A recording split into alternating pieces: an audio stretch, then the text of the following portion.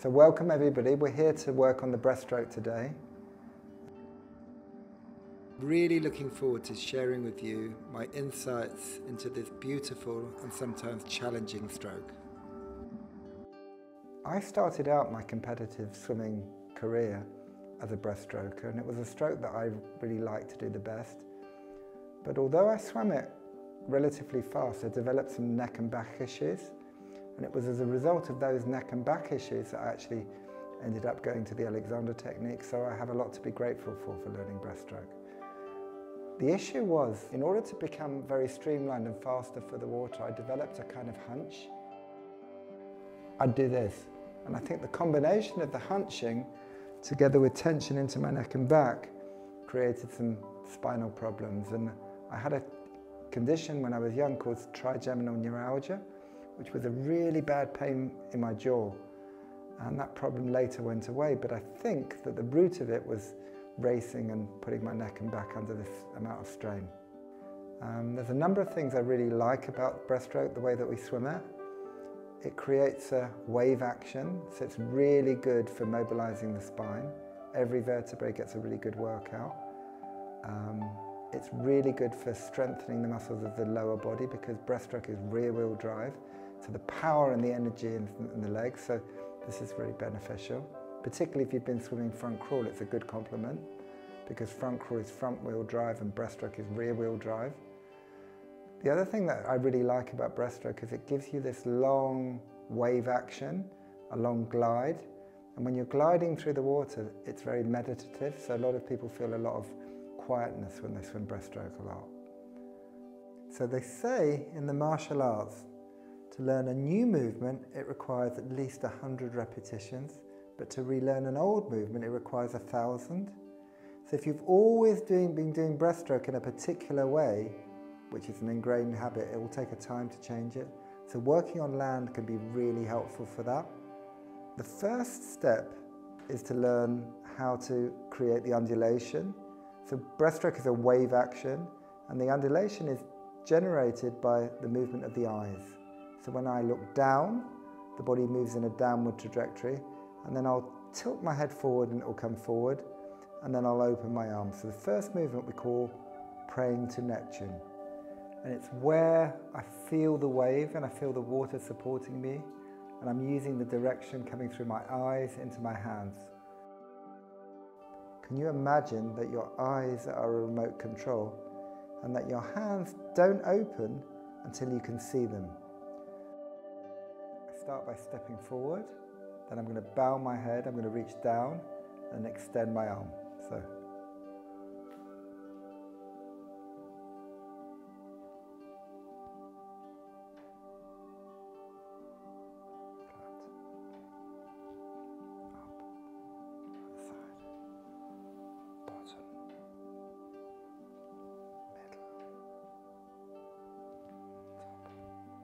You're looking at the hands then you look forward over the top of them, they open.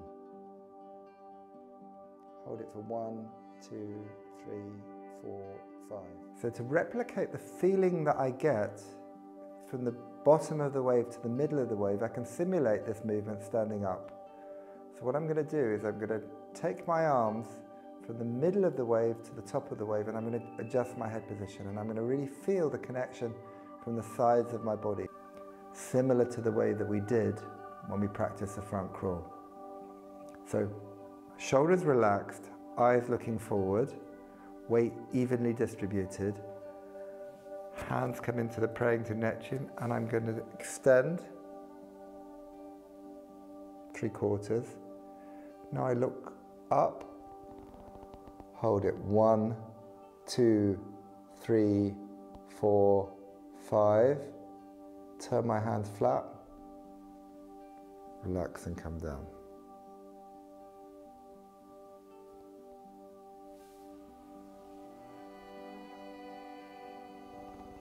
One, two, three, four, five. I really get a lovely sense of extension of the sides of my body, a feeling of length through my front of my neck, and it feels really comfortable. Yeah, so the arms float up. That's far enough. Now, gently change the positioning of the head, holding it one, two, three, four, five. Change the head position, change the hands flat, and come down. Good, one more time. So here, slowly tilt the head. Good. And really feel the length, yeah? You feel it? There. So if you're reaching, reaching, reaching, reaching, reaching, and turn and go back. So one more time together, really long.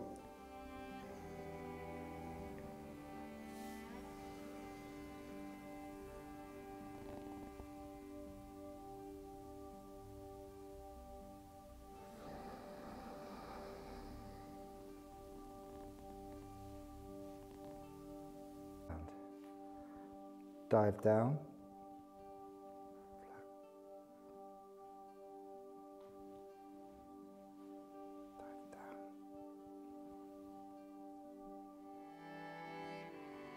I'm looking above my hands, at my thumbs. I look forward to eye level. I hold it for a few seconds. I stand up. It's important that you don't bury the head too much, but it's also important that you don't pull the head back. So the head is leading the movement, but in the continuation of the spine. Forward and down, float up, stop. Forward and down, float up, stop. Forward and down, float up, stop. Bottom of the wave, middle of the wave, Bottom of the wave, middle of the wave, stop. Bottom of the wave, middle of the wave, stop. So it's a question of tilting the head rather than pulling it back.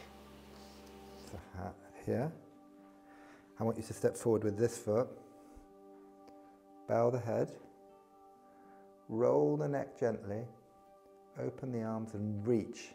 Good. Hold it for one, two, three, four, five seconds. Relax and come down. Bottom, up. So this knee's got a nice bend in it and the knee is over the foot. Okay, so one more time, left one. Here. Bow, yes. Look up look forward. One, two, three, four, five. Turn the hand flat and come up. Go with the right leg first. Dive, forward, turn, up. Left leg, get ready. Dive, forward, float, up. Bottom, middle, This upright practice really helps you to get a sense of the balancing effect of the arms, but also how the propulsive movement of the arms brings the body up without the need to shorten the neck. It also really reinforces the wave action and also the correct timing, the relationship between the arms and the legs in breaststroke, which is for a lot of people a bit of a challenge. The next movement that we're going to work on is a scooping action of the arms. So what we've learned is a non-propulsive arm action in the direction of the eyes. Now we're going to learn how to bring the body up. And the main purpose of the arms in breaststroke is to create some forward momentum but more lift. We're going to lift in a way that doesn't involve shortening the neck. So I've gone to the bottom of the wave, I float to the middle of the wave and then I scoop and that scooping action brings my body up. See how it rounds, shoulders down, neck long. So I'm at the bottom of the wave, I'm at the middle of the wave, I scoop, and I'm leaving my neck alone. What you don't want to do is pull the head back. You want to maintain the integrity of the spine. With the breaststroke arms, there's some magical connection between the breathing and the positioning of the arms. What I've discovered is when my hands turn inwards and come up, palms up, the air comes in very, very naturally. It feels that invites the air in. When the hands are the palms are facing downwards, it feels much more difficult to breathe. So there's something about turning the hands here that creates a feeling of lift and openness across the chest. So what we want to avoid is coming in like that. So we turn the hands over, that angle opens my chest and allows the air to come in in a much more natural way. Down, open, the air comes in. In meditation, we often sit with our hands, with our palms facing up. And this is to encourage a natural in-breath and open shoulders. So it's exactly the same in breaststroke. If the palms are facing up at the point of the air coming in, it's much easier, much more natural. If the palms are facing down, it's more difficult. So a nice exercise is to go breathe in, breathe out. Allow the air in, press the air out. Allow the air in, press the air out. Allow the air in, press the air out. The action of turning my arms out helps me to create lift and re remain loose in my shoulders. If I don't turn the arms out as I scoop, I'm more likely to raise the shoulders, and this isn't good for my head neck back relationship. So by going down, turning to the sides, I can lift and keep my neck long and my shoulders in neutral, which creates a much easier way to breathe in. So I'm breathing out on one, breathing out on two, and allowing the air to come in on three. The arms always remain in front of the body. What we need to understand is that the arms are primarily there for lift, not for pulling yourself forward. So I go forward and down, I open, I scoop. If I pull my arms behind my body, this narrows my shoulder blades, narrows my back and makes breathing much more difficult. So I go forward and down, I open and I scoop and that gives me lift. Forward and down, open, I scoop and that brings my face out of the water. So my hands are in front of my chest. If I bring my hands behind my back, this limits me. It makes it much more difficult to get my body up and over the water without tensing my neck. So bottom, middle, and create lift here with the arms.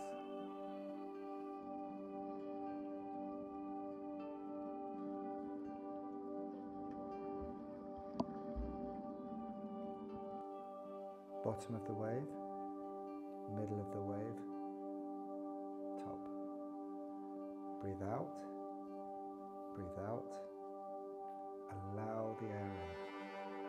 Breathe out, breathe out, allow the air in. It's sometimes difficult for people to coordinate the leg action together with the arms. In order to make it easier for you, I'm going to demonstrate the leg action without the arms and then we'll put it together.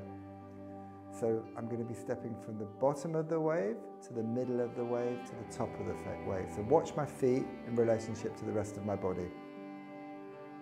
Start with both feet together with the weight evenly spread. Step forward with the lead foot, keeping both feet on the floor. Shift your weight forward onto your front foot and raise the back heel off the ground. Now bring both feet together and step up. Bottom of the wave, middle, top. Bottom, middle, top. Bottom, middle, top. I step down, go up, feet together. I step down, up, feet together.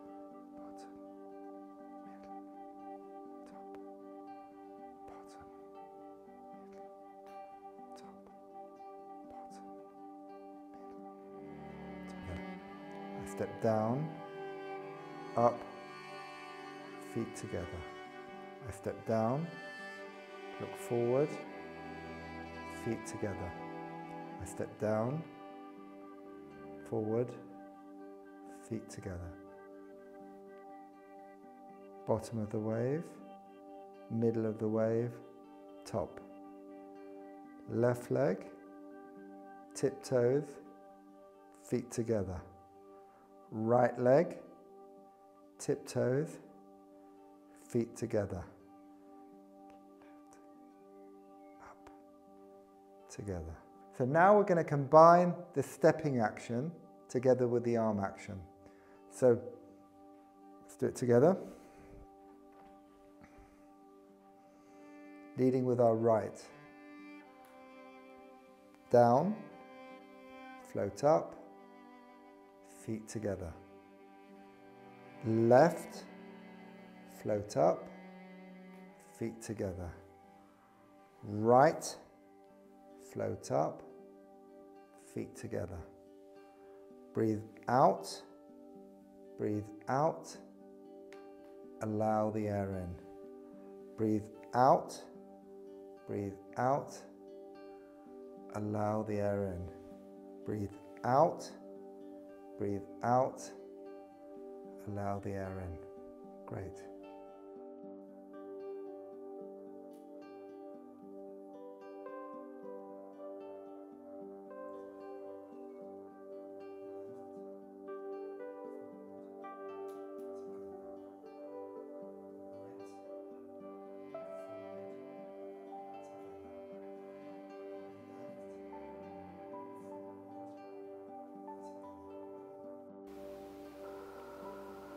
So keep up the practice, ideally with a partner, and remember that habits are like tall trees and comfortable beds, easy to get into but hard to climb out of. So the more that you keep consolidating the movements both in your mind and in your movements, the easier it will be for you when you get back into the water. And join me tomorrow where we're going to move on to the next stage which is about understanding a movement that I call the breast to fly.